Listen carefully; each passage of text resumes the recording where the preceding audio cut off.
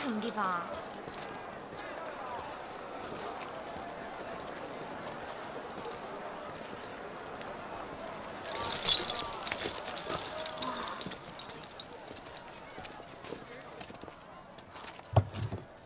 这是什么呀？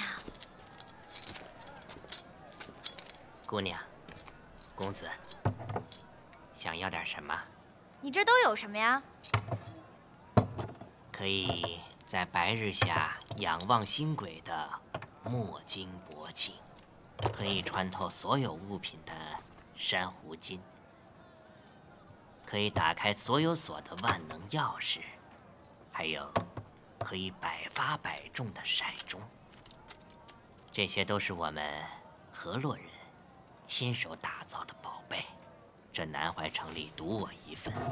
姑娘，想要点什么？我们就随便看看。嗯，姑娘眼光倒是毒辣。这玉环是刚刚从我们河洛贵族的古墓中挖出来的宝贝，这寻常人呐，难得一见。哎，两位公子，还愣着干什么？姑娘不说喜欢吗？赶紧买呀！喜欢吗？挺好看的。这个多少钱？二百金珠。这么贵啊？哎，姑娘，你看这玉环水头多好，这玉呀是天生养的东西，这留在身边，那可是一辈子的念想啊。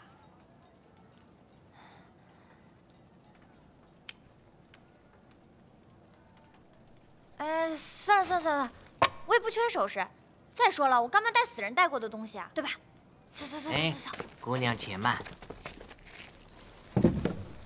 既然三位来了，那便是和碧殿有小小的缘分。不买河洛的物件不要紧，可我这里面的东西，在整个鬼市，就我一家。你们不看，会后悔的。那到底是什么东西啊？难道你们不想知道你们的过去、现在和将来吗？哼哼，过去已经过去了，现在正在发生，未来或许已经到来。我这三面海螺镜。你们看到什么，便是什么。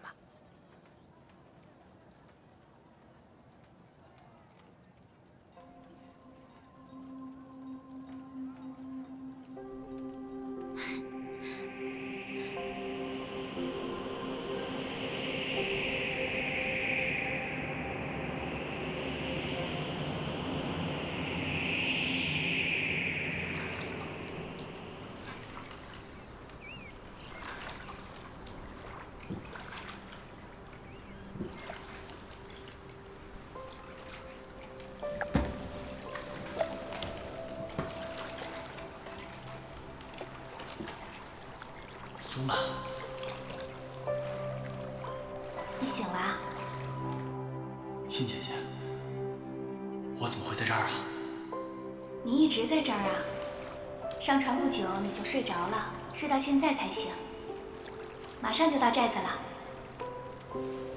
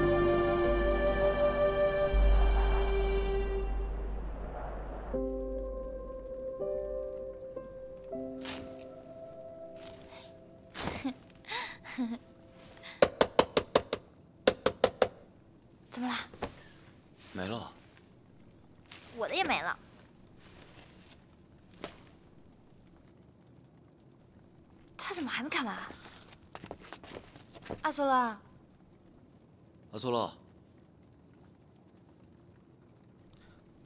阿苏勒，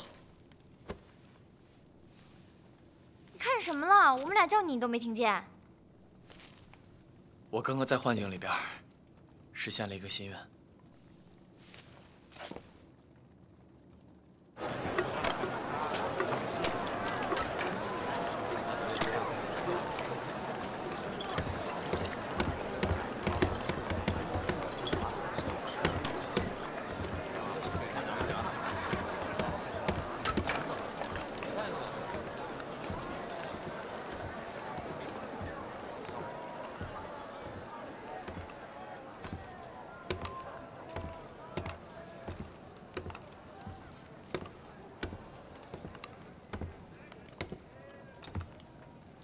听闻你是来找剑的，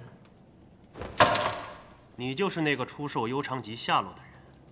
十四年了，十四年来，从来没人打听过他的下落。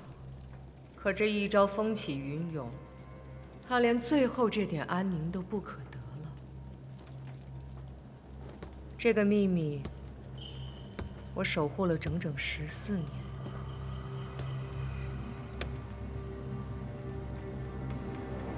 做买卖有做买卖的规矩。我之所以跑到鬼市来打听消息，就是因为这里有所闻有所不闻，只为金子奔忙，不为追根究底。这位姑娘，你若是坏了规矩，不能怪我。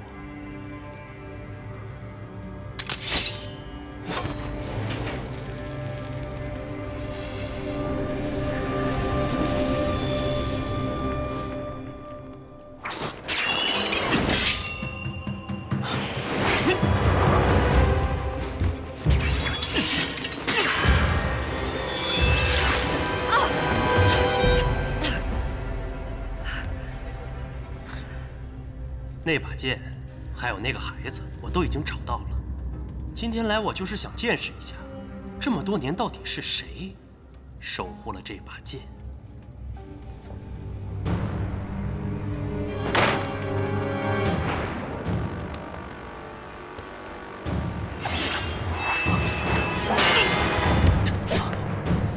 铁皇是要在闹市大开杀戒吗？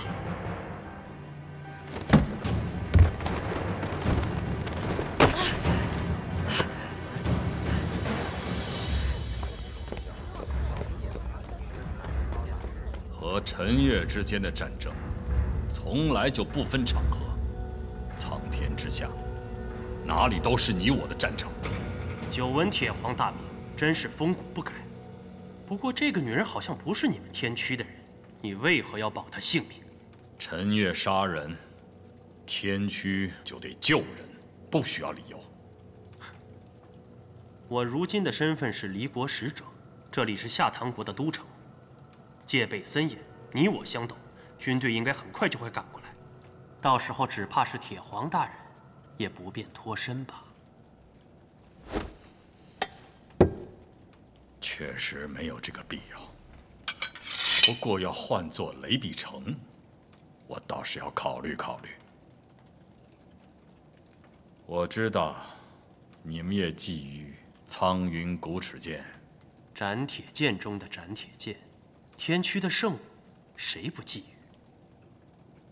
回去告诉雷碧城，他胆敢染指苍云古齿，我定会取他项上人头。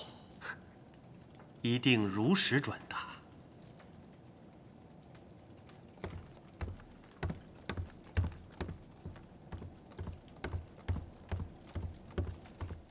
哎，你还没说你刚才看见什么了呢？我特别模糊的看到城墙、战场，又在仔细看的时候，就什么也看不见了。我觉得这就是那个老葫芦骗人的把戏，什么现在、过去、将来。谁说他骗人的？我跟你说，我刚才就看见我们三个站在南淮的街道上玩，那不就是现在吗？我觉得，可能每个人心里想的不一样，看到的东西就不一样。雨然，你平时就开开心心的，看到都是漂亮的事情。结雨然，我突然想起来了，今天苏尚宫在宫里帮我约了一个夫子，时间快到了，我先回去了。啊？哎，怎么说走就走啊？奇奇怪怪的。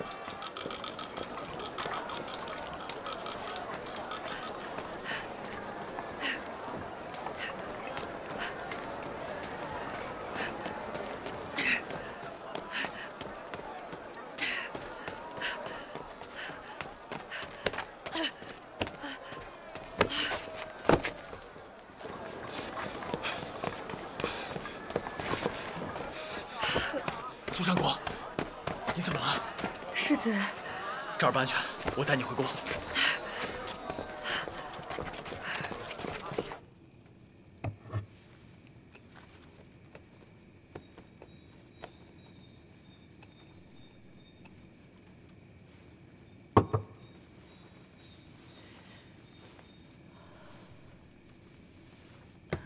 苏尚国，真的不用帮你请御医来吗？不用，我真的没事儿，劳烦世子担忧了。可你刚刚受了很重的伤。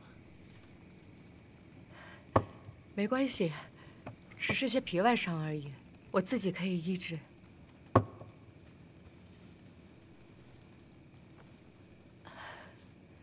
苏长公，可以告诉我发生什么事情了吗？世子还是少知道的好，这事跟你没关系。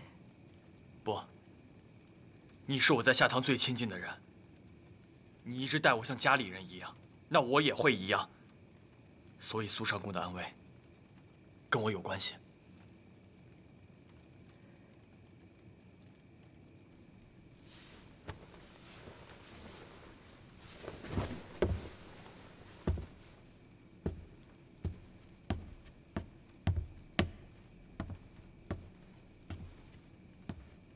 能在南怀遇到心善如世子的人，真是我的幸运。今天的事我已经忘了，世子一定要答应我，好好做你的青阳世子。对很多事情要做到不听、不看、不说。世子明白了吗？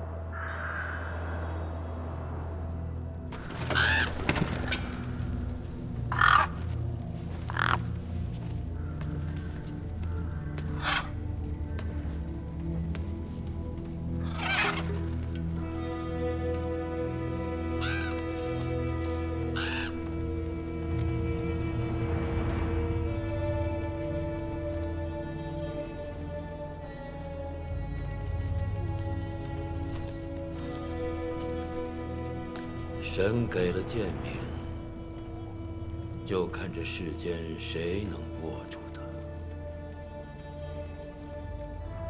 碧城还有一则消息要告诉国公。国师，请讲。骆子嫣在下堂为国公寻的那柄剑已经有了眉目，是苍云古齿剑吗？国公洞若观火。尤昌吉当年南下，到了下堂以后，就再也找不着了。可是整个东路都知道他背负的是苍云古齿剑，没想到那么多年了，这把剑还藏在下堂。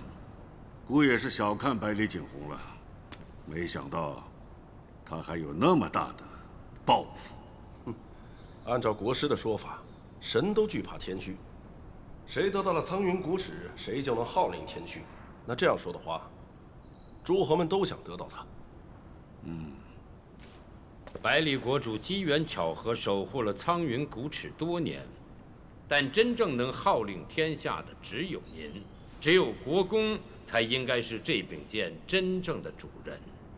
国师，咱说清楚了，是陈月想要这把剑，不是李果。孤从来就不相信这千军万马之中一把剑能顶什么用。国公，离国和陈月本是一体。也许吧，在孤看来，陈月更需要离国。孤要去更大的战场了，离国的事就留给国师操劳了。叶璇，传令张博，全部雷齐集合，今天就出征天启。是。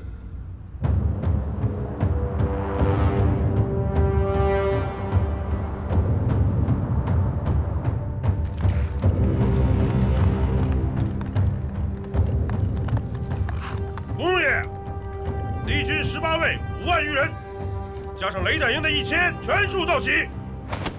每次出征，都要等你跑这么一大圈，一一报数上来，累不累啊？累。公爷，不知是开朝时哪位将军设下的，皇室和诸侯们的军队开拔前都要来这么一下，报一报人数，振奋一下军心。哼，这叫振奋军心啊！把他们一个不漏的全都带回来，那才叫振奋军心呢。父亲。不可出兵！不可出兵！父亲，父亲，既然已经攻破了下唐，为何不一鼓作气灭了下唐国？你以为你父亲的志向就在于一个区区的下唐？可是父亲，您若亲自出兵天启，势必会引起各方诸侯的猜忌，离国也会成为众矢之的的。那又怎么样？老师的意思是，让我们继续攻打下唐国。我以为你是来跟我送别的，没想到你是来传达国师的意思的。国师是为我们离国筹谋。你什么时候才能有个世子的样子？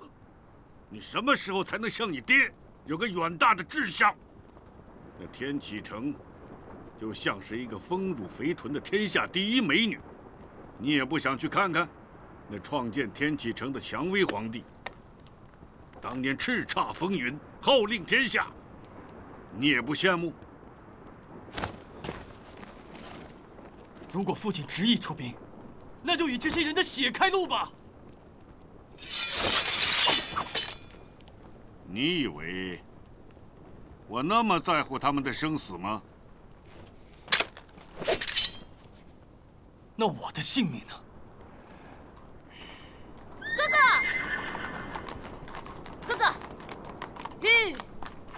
我刚才路过祭坛了，那火光冲天的，你赶紧去看一眼吧。国师不是赠了你大量陈月的典籍吗？这要是都烧没了怎么办啊？愣着干什么呀？赶紧救火！是。快。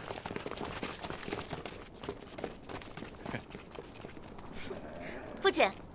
放火也学会了。这都被你看出来了。那当然了。你还有什么不会的？父亲，我现在只能跟你走了。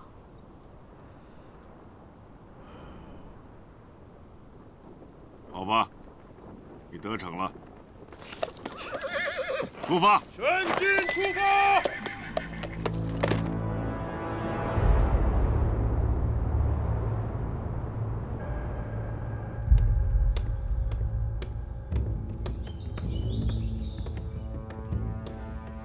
拜见国主。西将军找到骆子言了，对尹无义的出兵，他作何解释？据骆子言所说，尹无义这次率领了一支天下震部的军队，要上天启觐见天子。他要北上，就得经过我国，是去天启，还是攻打我国？谁能说得清楚？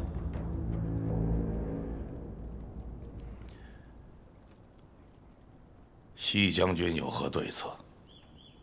敌人来犯，西衍定会全力以赴，不负国主重托。但是敌人来势汹汹，我军仓促集结，处境恐怕对我们不利。对付英无义，是时候该请出我们的盟友了。国主说的是青阳兵，可是现在盟约未定，臣怕九王不会出兵相助。我请他们来，可不是让他们来颐养天年的，让他们出兵，顾家自会给九王他无法拒绝的条件。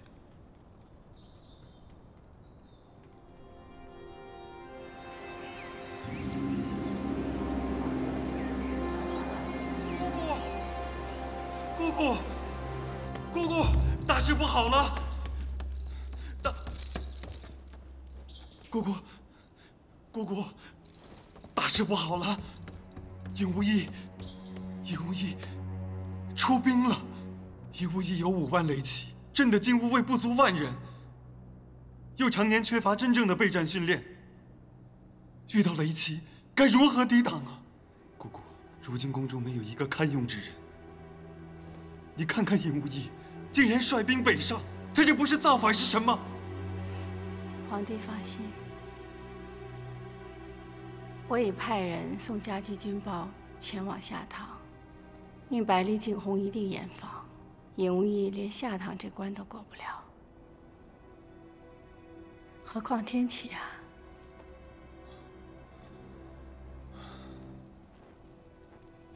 有姑姑这句话。朕就放心了。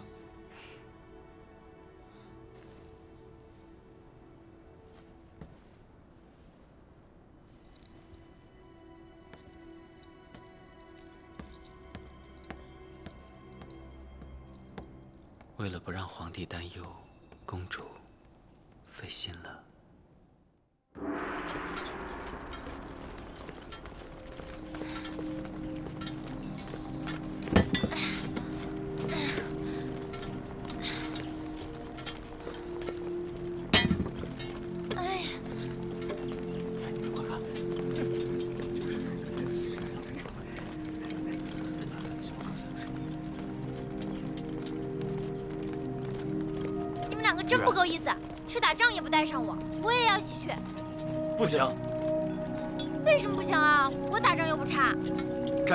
闹着玩的地方。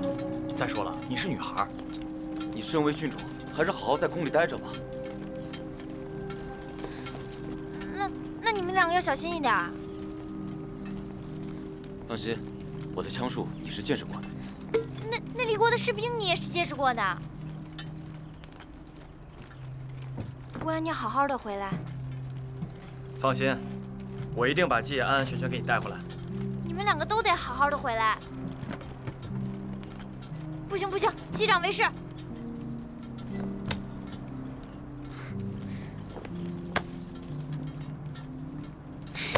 什么时候还卿卿我我的？戚将军有令，即刻出发。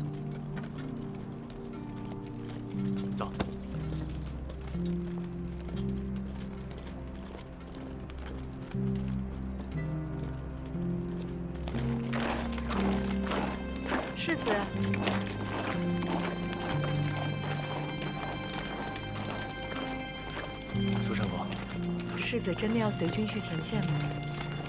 这是下堂的战事，与世子无关，世子可以不必去的。多谢上公关心，是我自己要去的。我想见识一下真正的战场。既然如此，我也不勉强你了。但是世子的伤病还未痊愈，苏某恳求世子一定要平安归来。有上公送的软甲护体，归尘一定能平安回来。西将军，老师。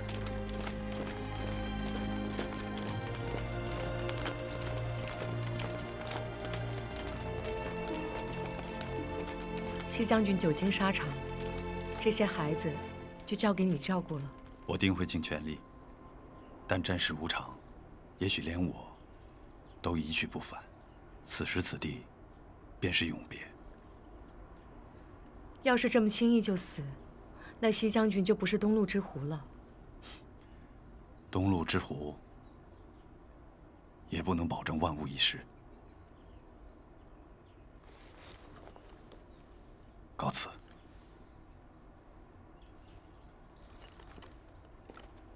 西将军，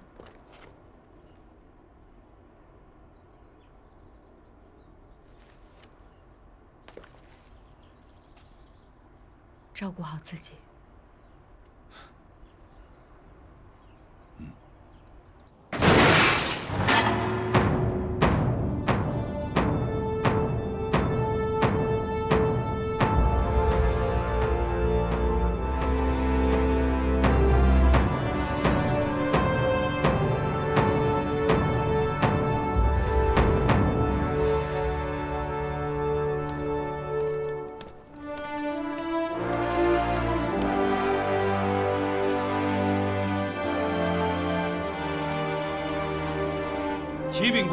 技工，学员，三军将士集结完毕。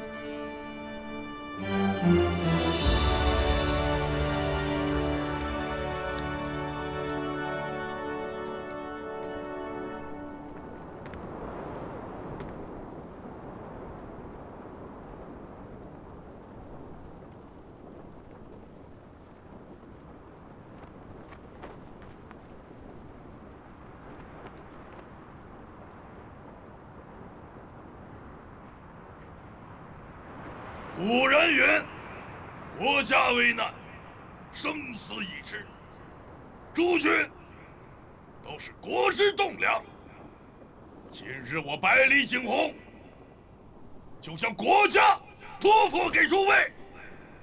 李国公尹无义，目无法纪，杀父弑兄，狂悖好战，天地之所不容。诸君皆受贿于下堂，望不负我之所托，力讨逆之心，凡诸缺赏，同治山河。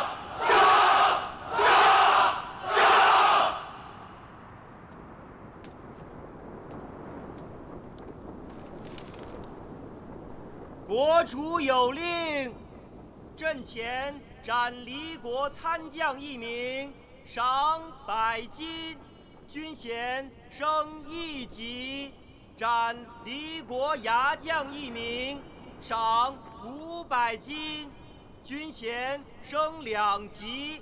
若能拿回离国谢玄、张博、苏元朗等人的首级，赏千金。军衔升三级，杀淫无义者，赏万金。上表帝都，封万户侯。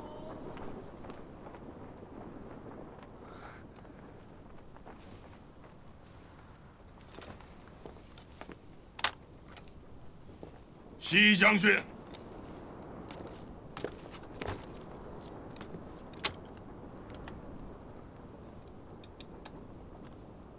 国家安危，系于将军一身了。正如国主所言，国家有难，生死已知。孤家静候将军佳音。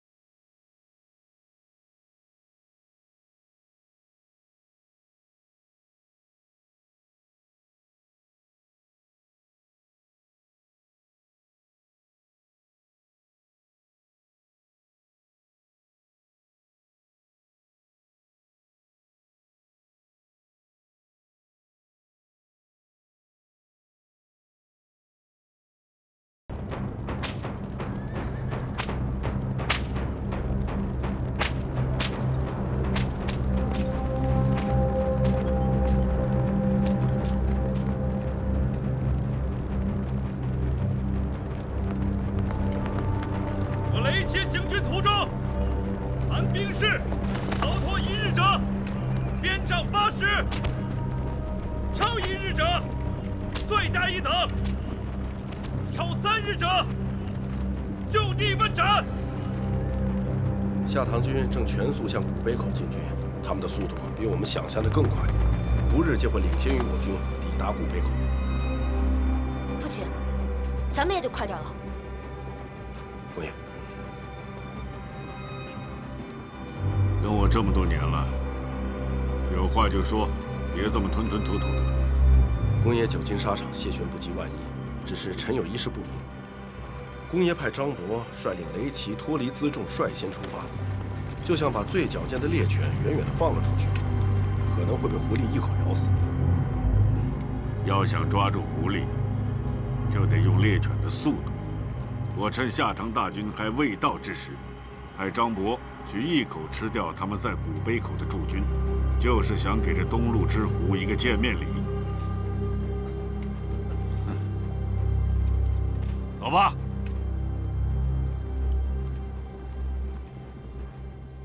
位参谋将军，我们离古碑口还有一日的距离。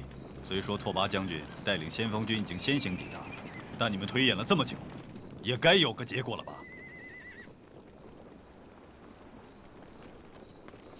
末将认为，应该利用山地之便，沿途设置滚木雷石、夜袭、火攻种种手段拖住离国军队，再分兵断绝营无义粮草补给。粮草一断，士气必衰。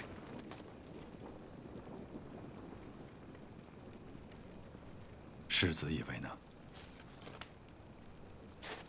老师，归臣看过地形图，离国境内多山，若是以此计的话，是让我们和山民打山地战。久闻西眼将军素有东路之狐之称，我想他们没人能猜出你的战术，只能过后加以分析，才能恍然大悟。西眼将军。他们已经尽力了。既然西将军已经成竹在胸，那何不直说？和营无义对战，倾尽所有兵力。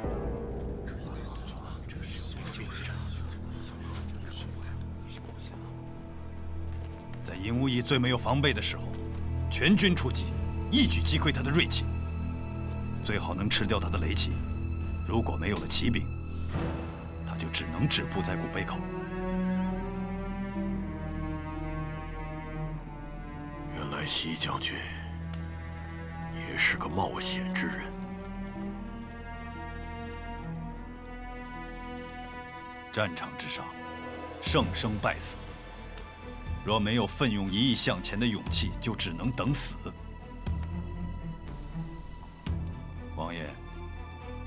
这么认为吗？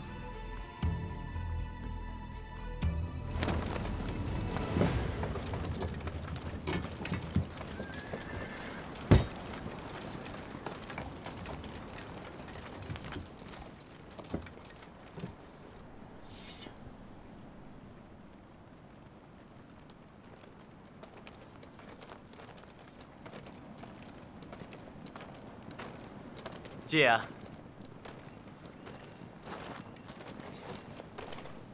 这是他们刚才发的锁子甲，我有苏尚宫送的软甲了，这个你用吧。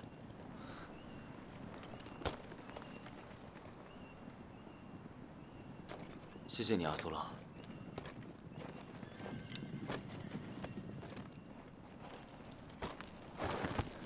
我不太会说话，但是谁对我好，我心里都记着。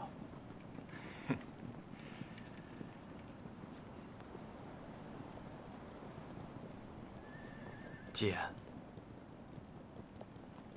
你为什么从军啊？我啊，怕被人瞧不起，被人欺负。实话告诉你，这一枪要不是握在我自己手里，我也会害怕。你呢？好好的世子不当，来冒这个生死？有的人从军。是为了军功。有的人从军呢，只是为了活下去。但有些人就是觉得自己能在战场上救别人。那你一定是那个可以保护别人的大英雄，值得信赖。人总要有几个值得信任的朋友嘛。那个人可千万不要是我。雨然总说，我是一个不会相信任何人的人。他说他最讨厌我这一点。自从来了南怀啊，我最开心的，就是同你和雨然在一起的日子。有时候我也会想念草原，想念阿爸。可迎接到你们，我好像觉得，哪怕一直在南怀生活下去，不是一件坏事。雨然如果能听到这些，一定会很开心。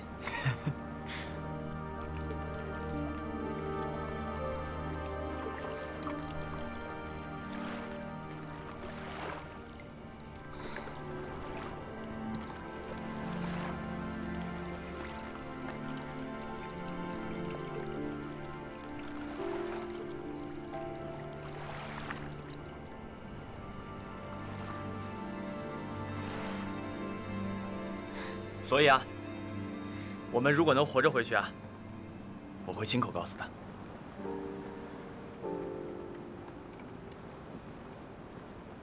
那如果来日大战，我们再也见不到了呢？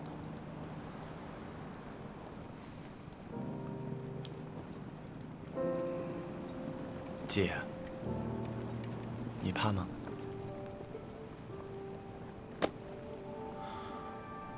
如果我说很怕死，你信吗？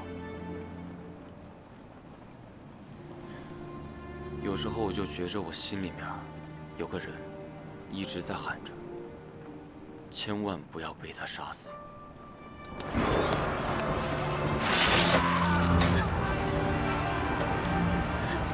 别怕，叶儿，叶儿，叶儿，你要记住，等你长大以后，也只能自己救自己。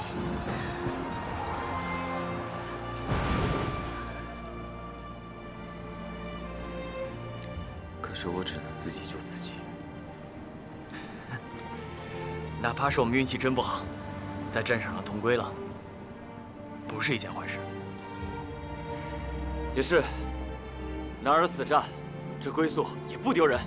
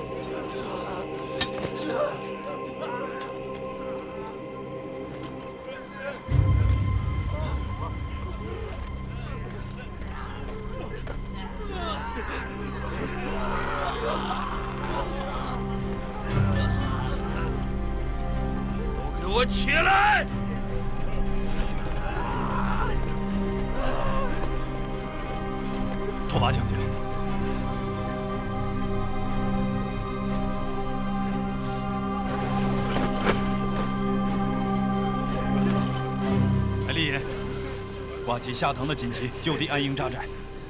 敌军应该暂时不会再发动攻势了。是。西元，在。扶拓跋将军进帐篷进行包扎。是。所有人，随时战备。是。